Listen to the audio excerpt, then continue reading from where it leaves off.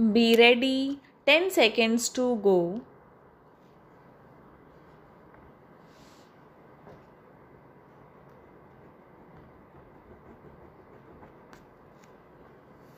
Start. Honorable members, in order to develop healthcare facilities across the country, commensurate expansion in medical education is equally important. In 2014, there were only 387 medical colleges, but today there are 562 medical colleges in the country. In the last six years, there has been an increase of over 50,000 seats at the undergraduate and postgraduate levels in medical education.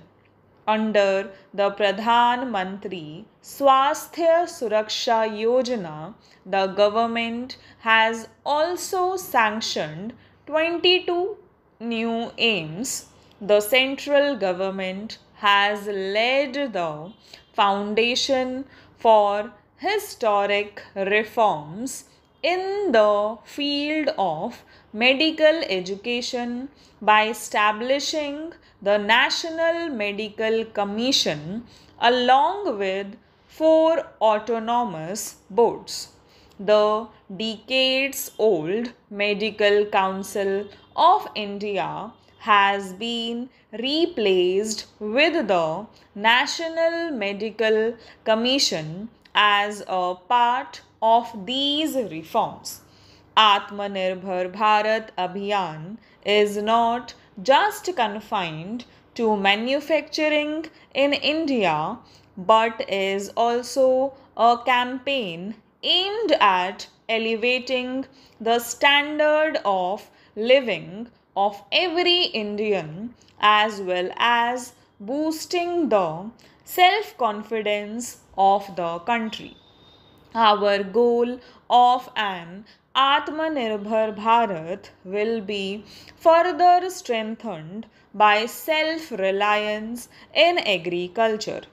With this idea, the government has over the last six years attempted to bring positive transformation in the seed to market system so that Indian agriculture is modernized and also sees growth. In pursuance of these efforts, my government decided to implement the recommendations of the Swaminathan Committee report and increased the MSP to at least 1.5 times of the cost of production. Today, my government is not only purchasing record quantities at the MSP but is also increasing the number of procurement centers. Widespread improvements are being brought in various sources of irrigation. Following the mantra of per drop, more crop, the government is not only completing the pending irrigation projects but is also delivering modern irrigation techniques to the farmers.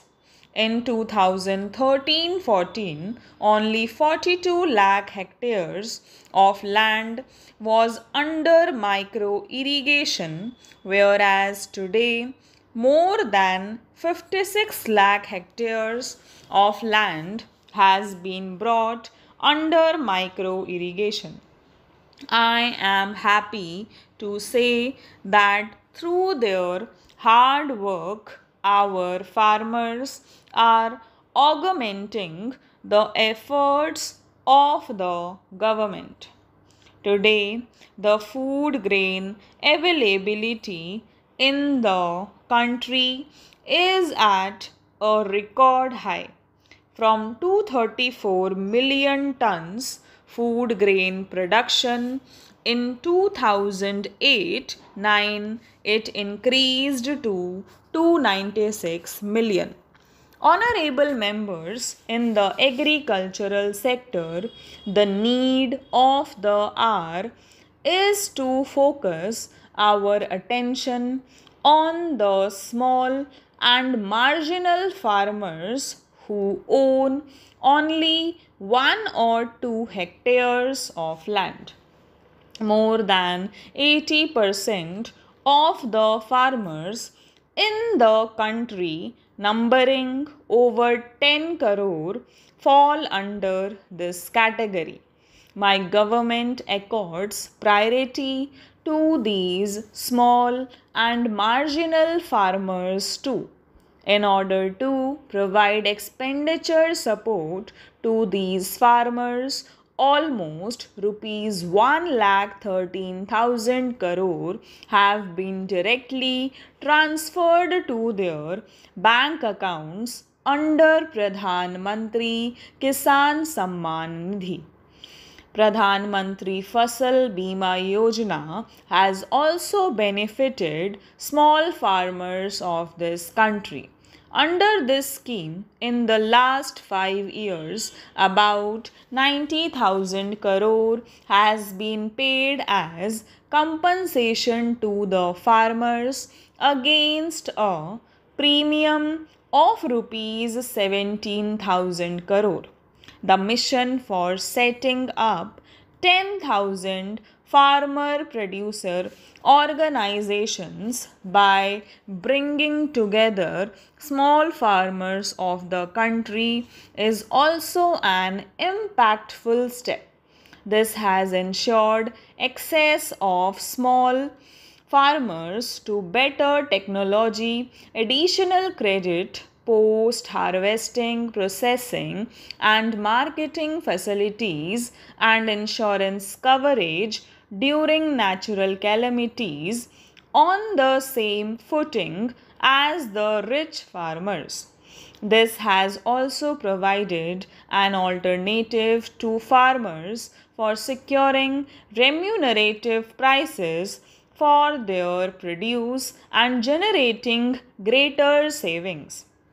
After extensive consultation, the Parliament approved three important farm reform bills. Seven months ago, namely, the Farmers Produce Trade and Commerce Bill, the Farmers Agreement on Price Assurance and Farm Services Bill, and the Essential Commodities Bill. The benefits of these three important farm reforms have started reaching more than 10 crore small farmers instantly.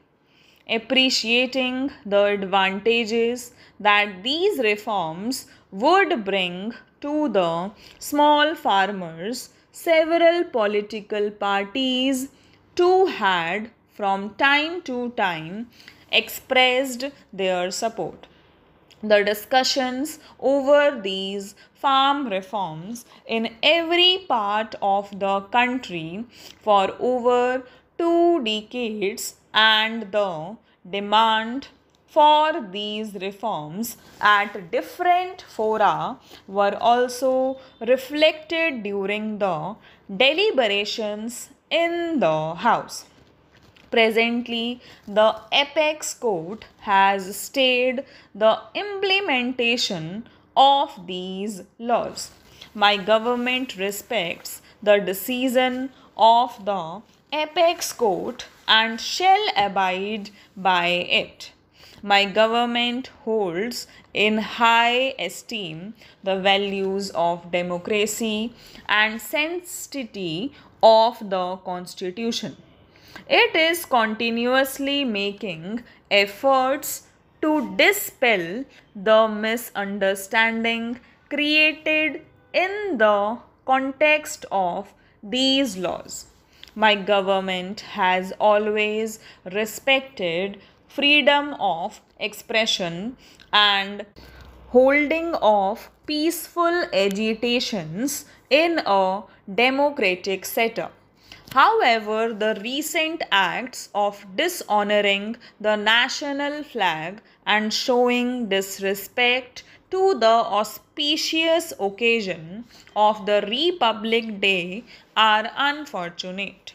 While the Constitution gives us the right to freedom of expression, it is also expected that we abide by the laws and rules with equal sincerity here. Stop